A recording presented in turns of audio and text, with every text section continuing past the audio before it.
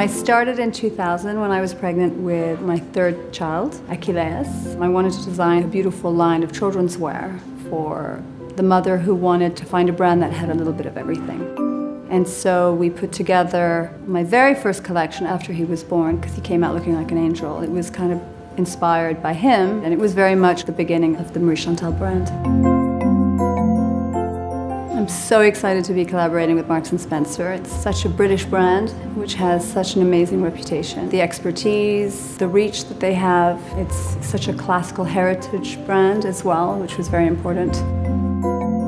We have a collection which is really focused on gift giving for newborns, and then we have toddler girl, toddler boy from three months to age five.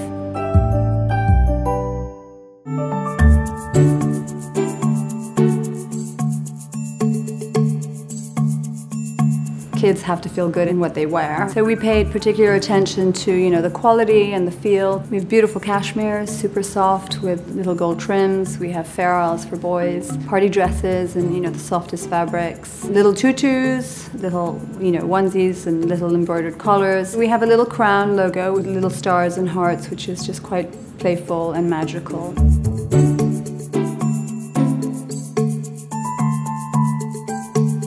My favorite pieces in the collection would be the velvet pink little party dress for girl with the wool coat, which is just beautiful, and the inside has these lovely little lurex polka dots.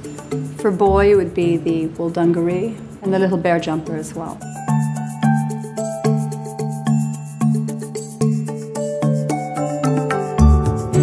So many brands are everyday, and this is just a little bit more special. It's fabrics that are easy to look after, it's not precious. It's a collection that's really for the parent who wants to dress their children well every day.